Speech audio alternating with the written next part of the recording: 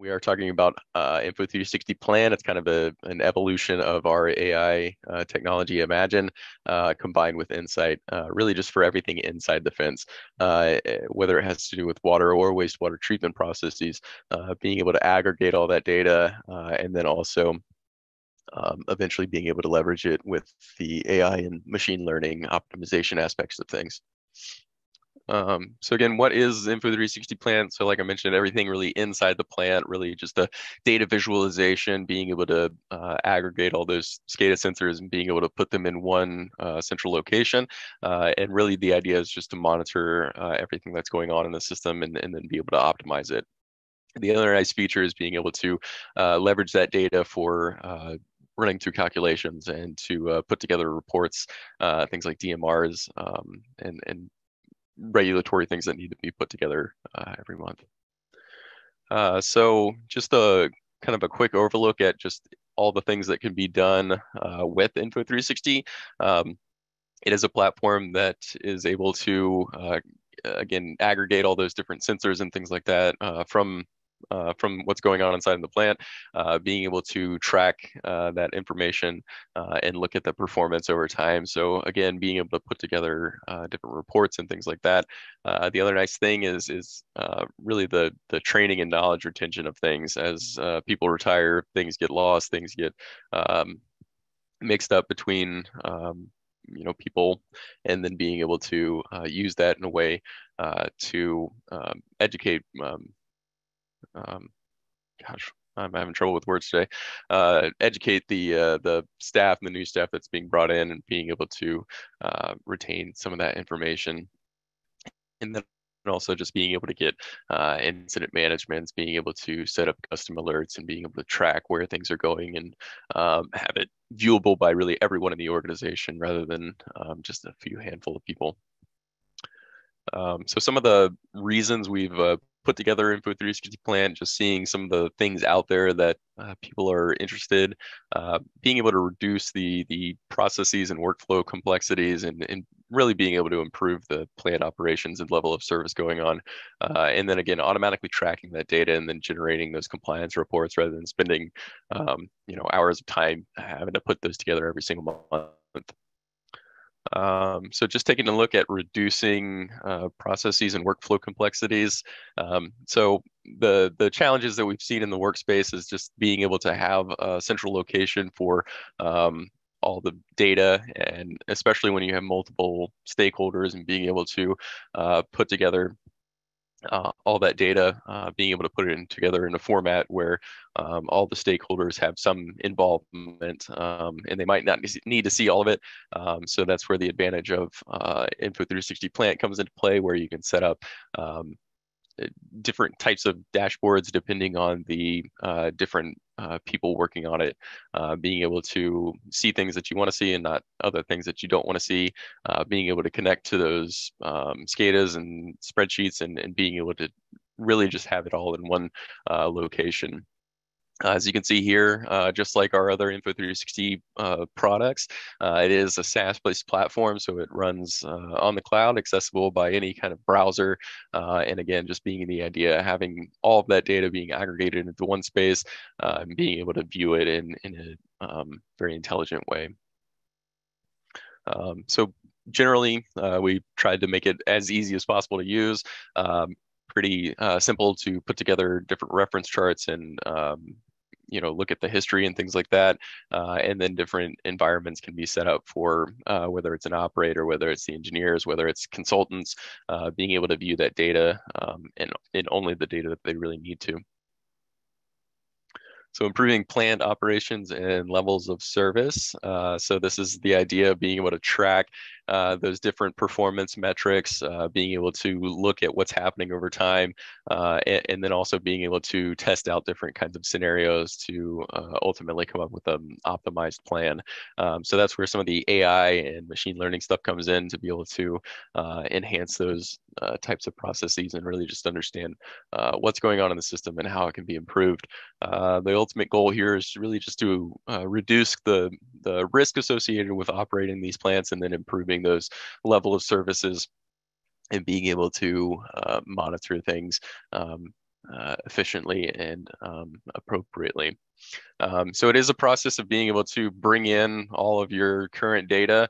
Uh, it is your system uh, bringing in the process flow diagrams, uh, building in KPIs uh, with those custom analytics and being able to increase the level of service um, by doing that. Um, really having a unified uh, look at all of the uh, information really just gives a, a nice handoff between the operators who are um, you know in the weeds a little bit more uh, versus those who are just stakeholders managers uh, that really just want to see things uh, more at a glance.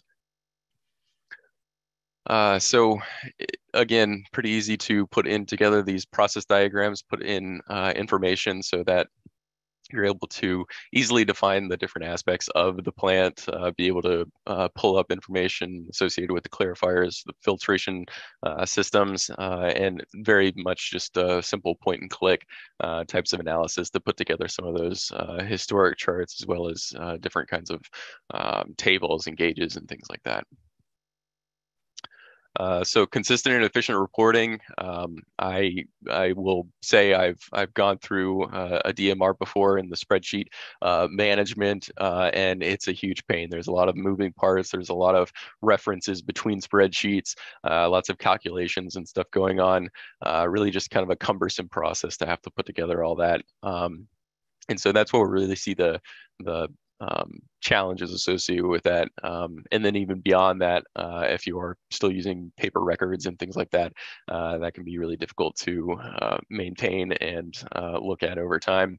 Um, and by being able to aggregate all those sensors and things like that within Info360 Plant, uh, we're now able to automate those processes. So reducing those needs for the, the spreadsheets and the management associated with that, and then just automating that calculation instead of having to you know spend hours at a time to uh, put together those you're you're assembling them really on the fly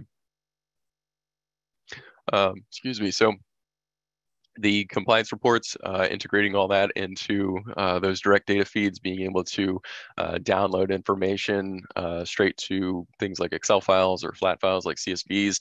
Uh, but there's also uh, more workspaces that can be put together as well as uh, common uh, reports and things like that can also be built, um, which I think Hunter will get into that in uh, a little bit when we uh, take a dive into the software itself.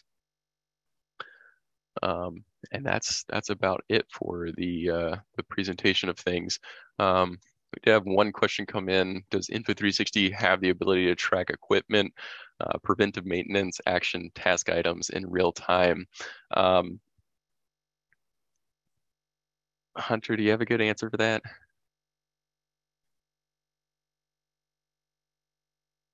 Um, I would need I would, to double check on that one, but yeah, I mean, at first guess, I, I wouldn't think there would be any kind of like preventive maintenance um, type of like prescriptive analytics or anything like that, but more so just being able to track um, the performance of pumps and things like that and how they deviate from uh, manufacturer specifications. Um, doing that in real time. So not necessarily predicting um, the need for preventive maintenance and things like that, but certainly being able to uh, track that information and and then make you know an engineering judgment to be able to to make that assessment.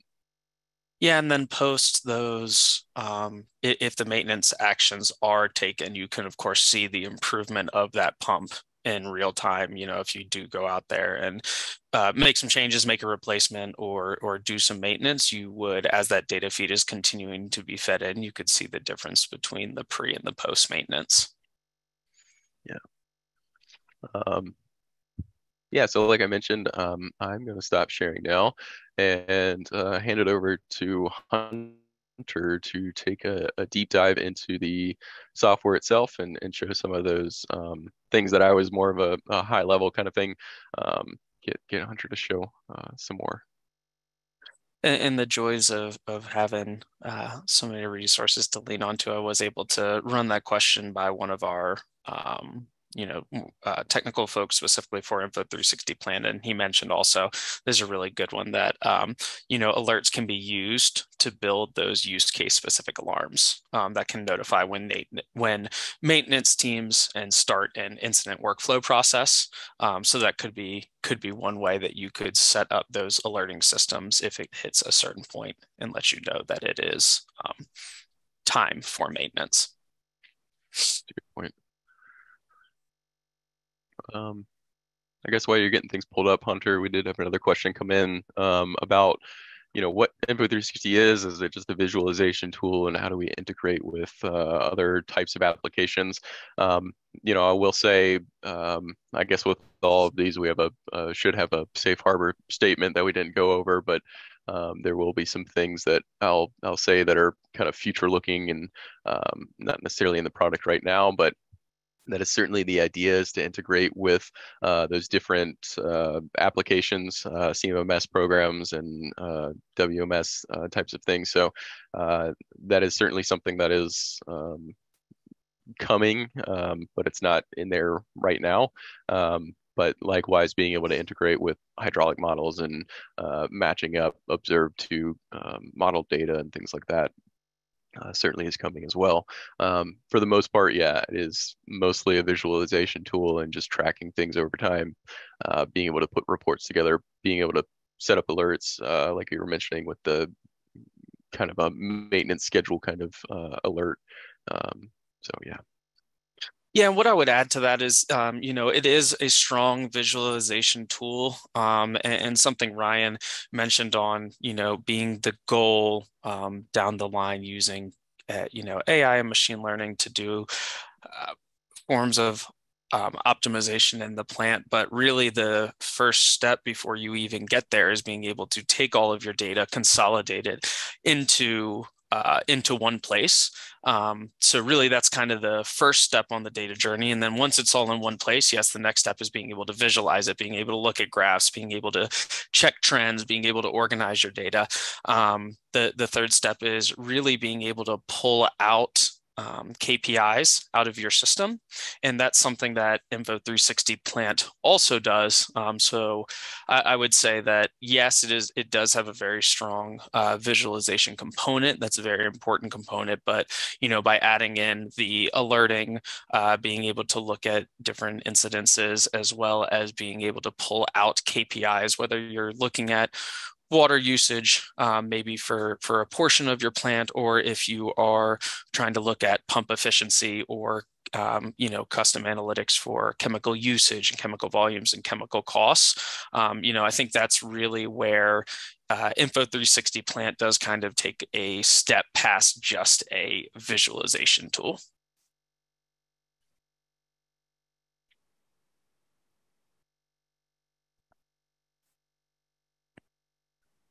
Um, so uh, just to just to double check, Ryan, are you guys uh, seeing my screen?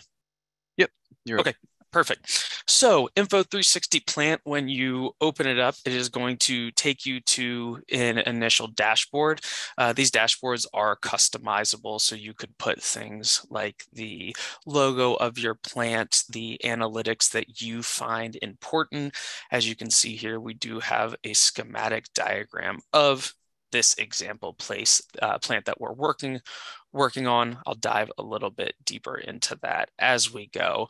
Um, this could be a place that you want to put in your plant capacity, uh, plant intake, system demands. Really, this is a place where you would want to set up the initial dashboard so that when someone opens up this this uh, program, the information that is important to them is the first thing that they see on the screen.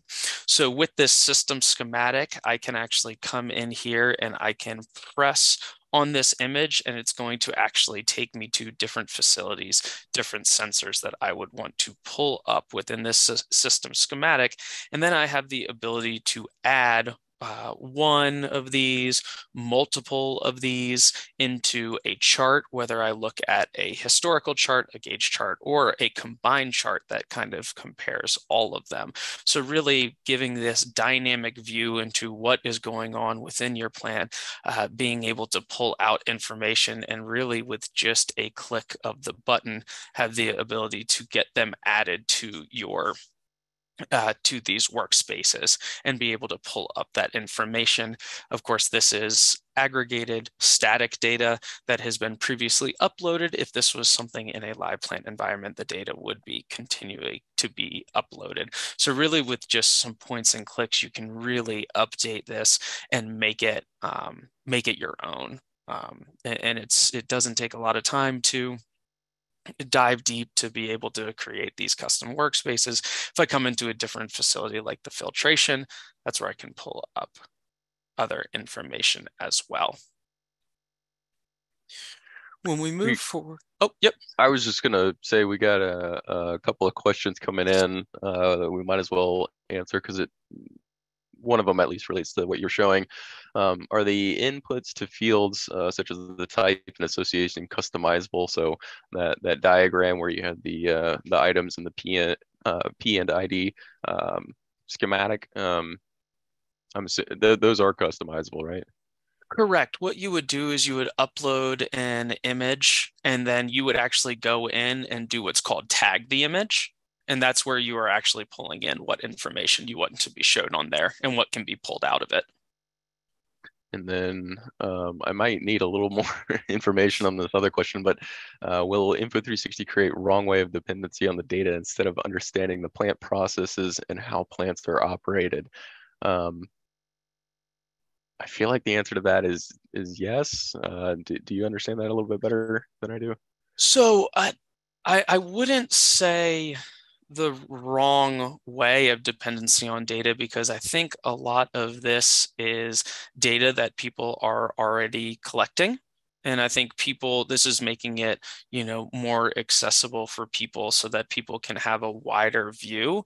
Um, but I think do you would still need to understand the process and how it operates to um, fully take advantage of the data that you're viewing. Um, yeah, and, and would be my thought. Yeah, and I would think that like some of that could be handled with alerts, uh, just setting up boundaries that would be unrealistic to kind of validate the data as it comes in, but there's no inherent validation to the data. So that would be my. I'd, I'd definitely be be interested to get um, the person that sent that in some additional thoughts, what they were thinking, or we can definitely set up a follow up.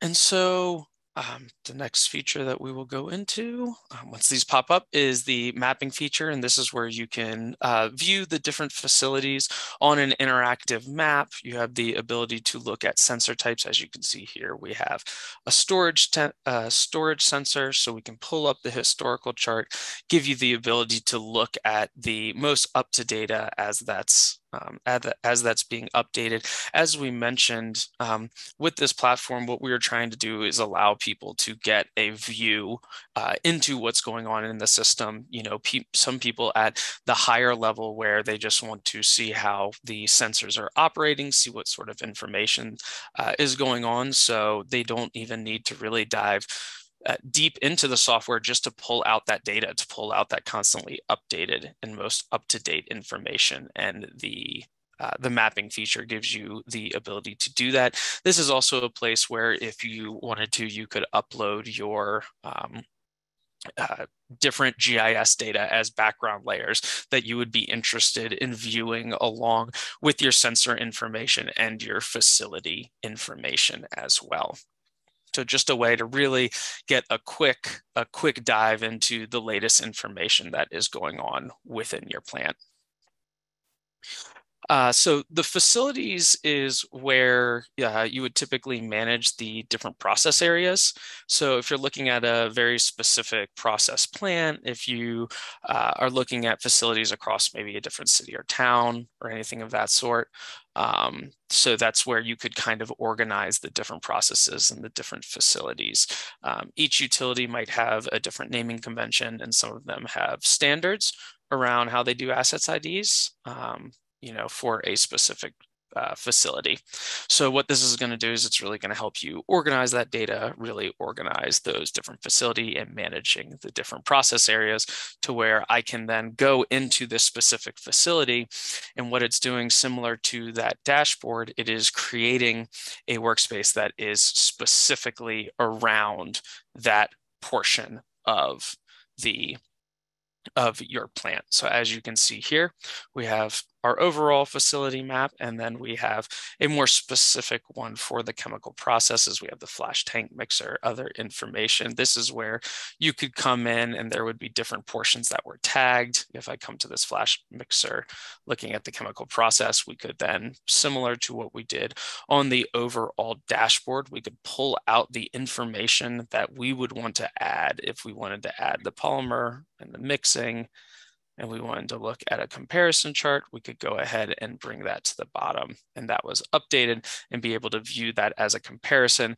Very similarly, we can customize this workspace to pull out the information for the specific uh, facility process that we are looking at. So it's really looking at a way to organize the different processes, be able to dive a little bit deeper to pull out that information when we take it a step further past just looking at the overall dashboard and the information when you first open up the open up the tool.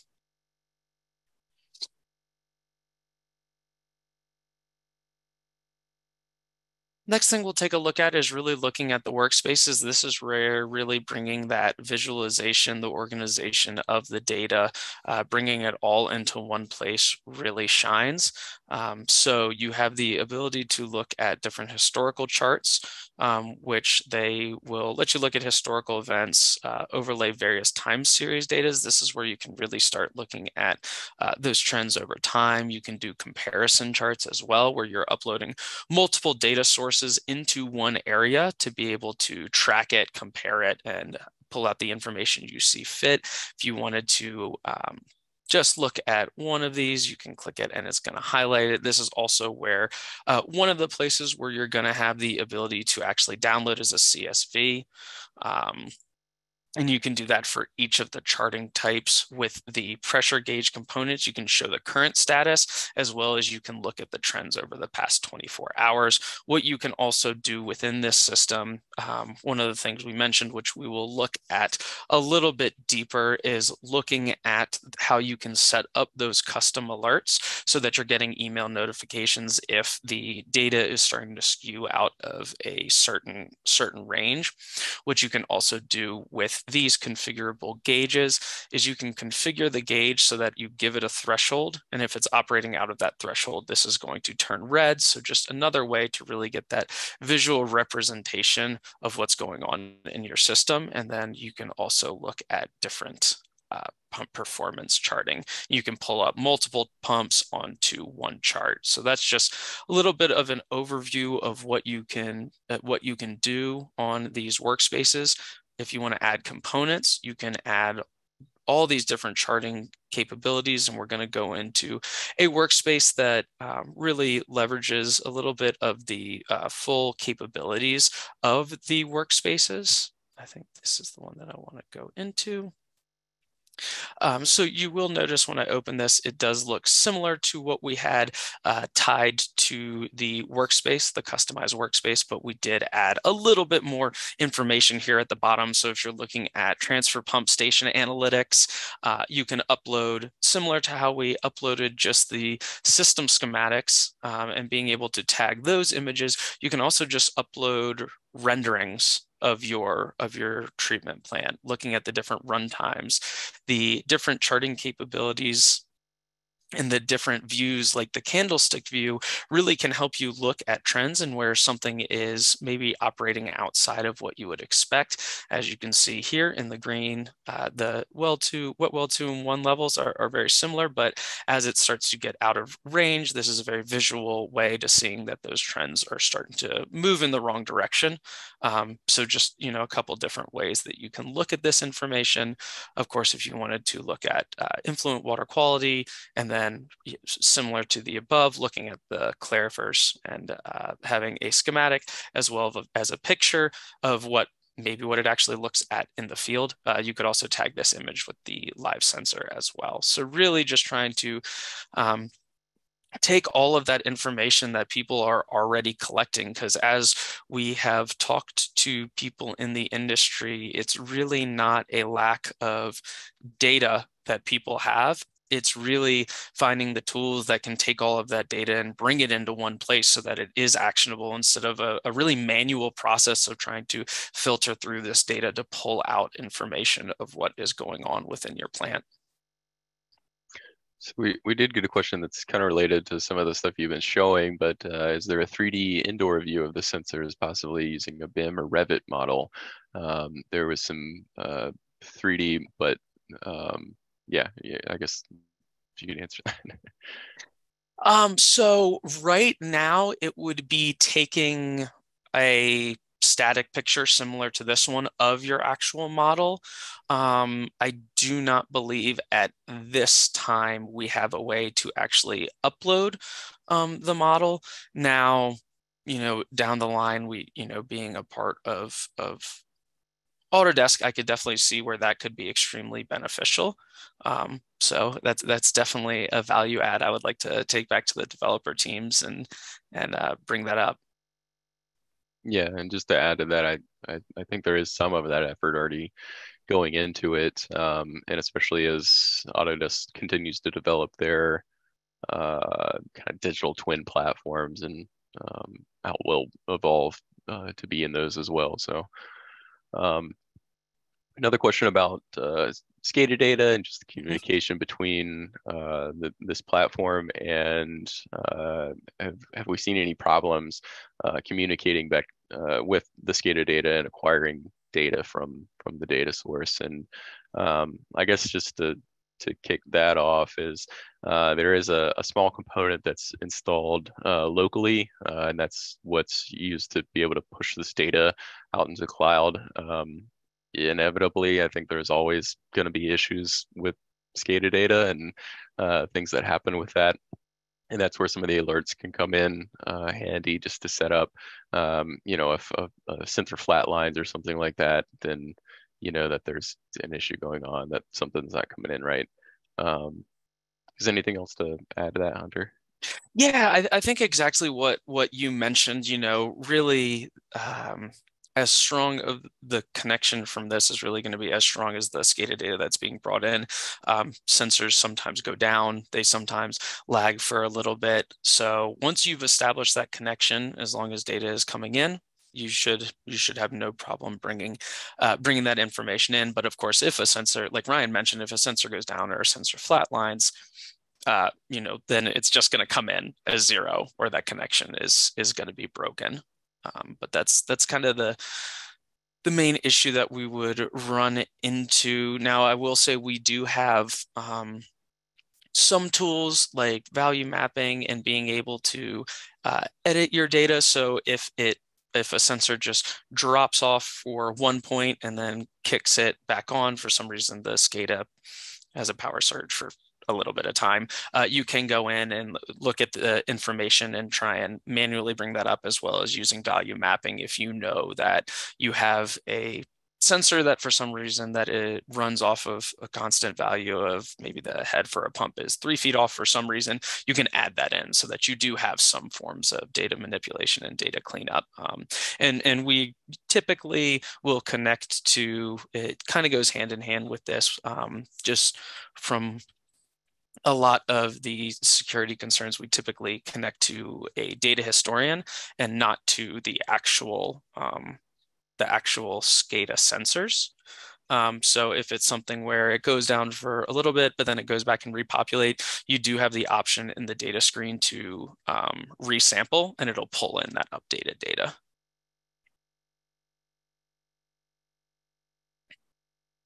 That's all I got for questions right now, but Perfect. And another thing I will add um, while we're while we're kind of having this conversation, uh, you know, on when you are, whoops, um, you know, if, when you are creating those system connections, if you do have multiple uh, data historians, multiple data streams, you can set up multiple connections. Um, so that is one of the places where we really are hoping that this can be a place that uh, consolidates a lot of people's data to make it usable.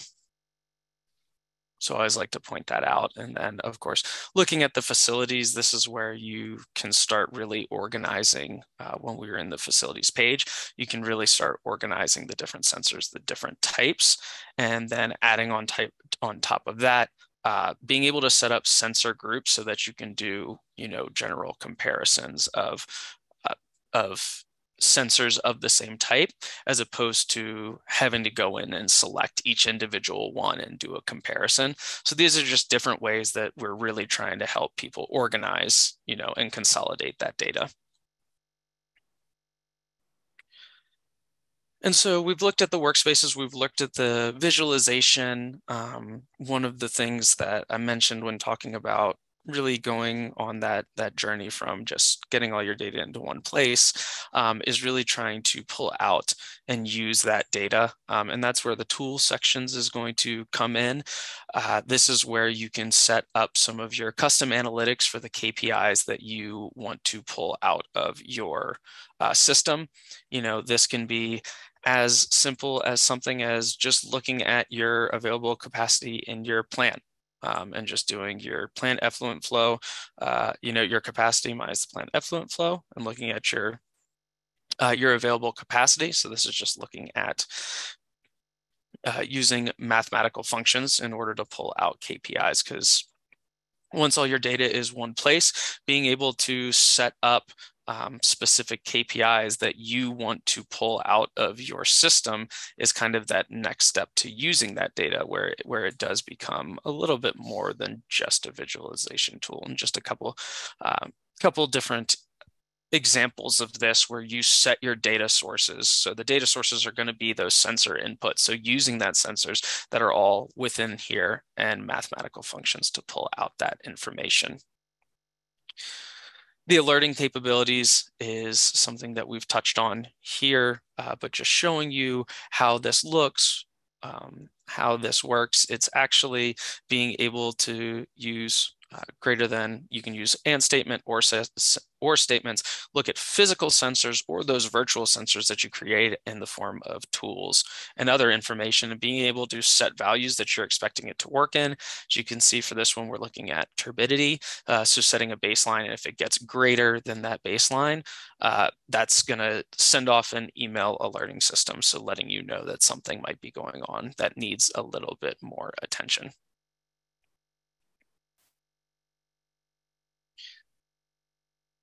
And then um, finally, the, the last part that I, I, was really planning on diving in, touching on in uh, within the software, I think we'll have plenty of times for uh, questions as people have them, is being able to set up uh, these reports.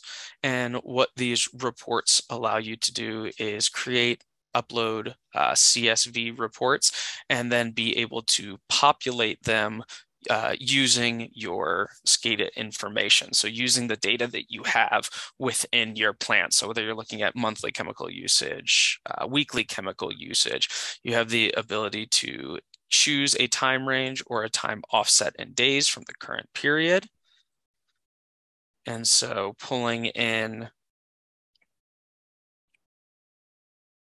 a month worth of data into a, a, CSV format that will be populated using your data from that time period. Um, just trying to make that reporting to uh, to be quicker, more efficient, being able to use your data when it's all in one place. I think uh, these sort of reporting, as well as just having all of the data in one place or looking at the different alerts, even something like that. If you were trying to uh, train someone and get them up to speed on uh, your plant and what's going on using that data, um, you can you can do that information using. Um, and as you can see, it will, will auto populate using um, the information that's actually within your plant actually um, occurred is a way that you could help someone get up to speed on what is going on uh, within your plant. And so that Ryan was mainly what I was planning to cover. Is there anything that you you think I missed? Oh, I think he had to drop off yeah, for a second. I, I think we're we're good. Um, yeah, I mean, I, I think the whole point to this was just to give everyone kind of a brief overview of things. Um, I don't think we anticipated on necessarily taking the full hour, but um, yeah, uh, we'll give everyone uh, about 20 more minutes to their uh, to their day. Uh, thanks, John, for the Go Tigers.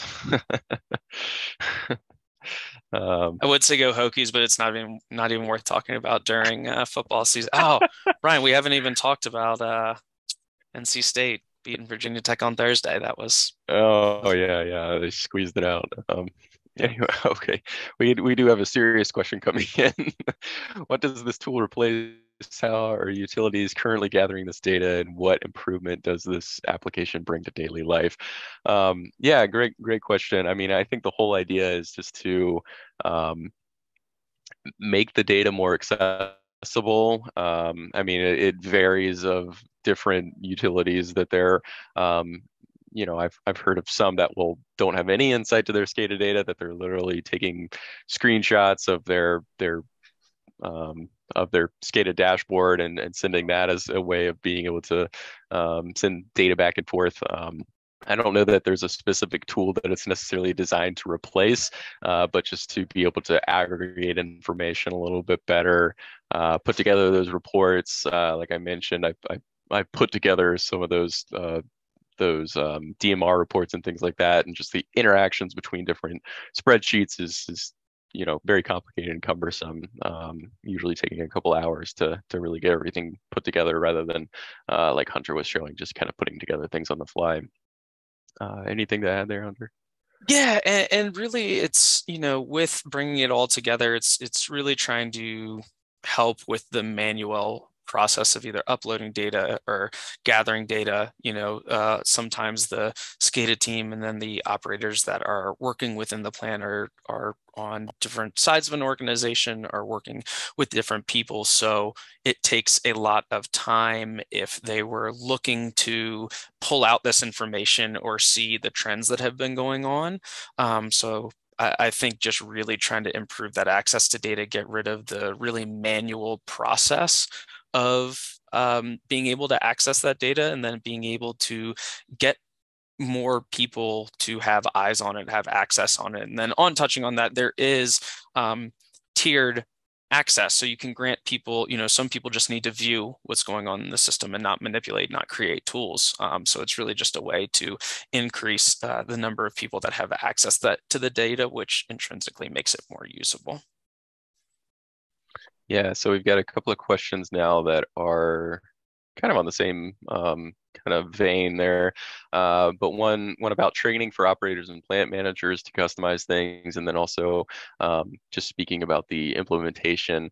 Uh, you know, being able to configure everything, and um, I guess the answer to both those questions really is is yes. Um, we don't uh, have anything that's you know, necessarily out of the box or anything like that, but our uh, support services, our implementation teams can uh, certainly build these things for our customers. I know we have some engineering firms interested in uh, being able to basically do the same thing as an engineering service.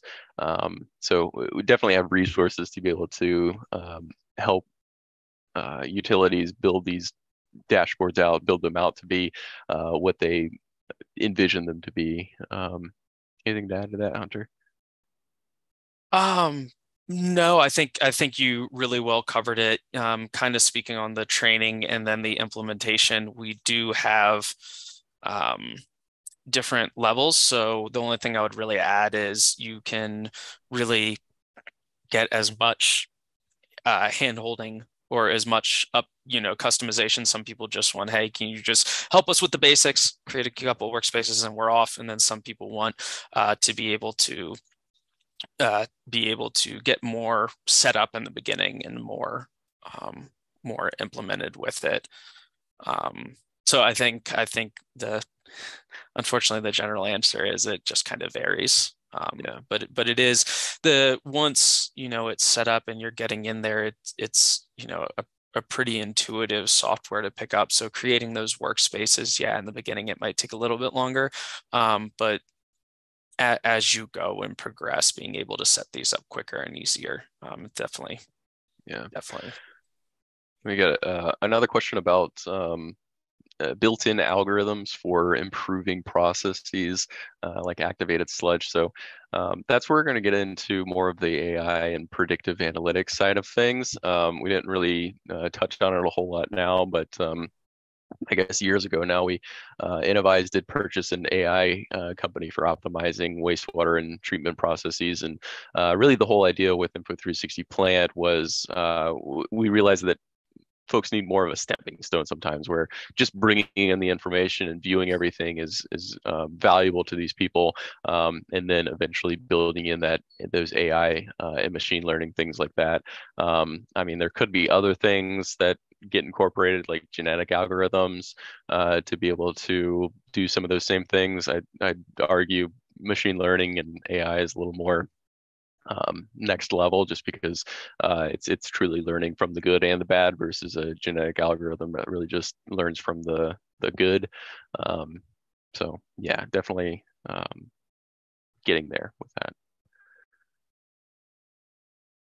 Yeah, and the only thing I'll add is uh, you kind of touched on it with a stepping stone, but definitely see this as a pathway to getting there. Um, you know, before you can dive into the AI and machine learning component, you need to know what you have um, and being able to pull all those data sources into one area uh, to be able to to take that next step. I think I think it's you know definitely a, a journey to get there, and I think this is this is one of the first steps.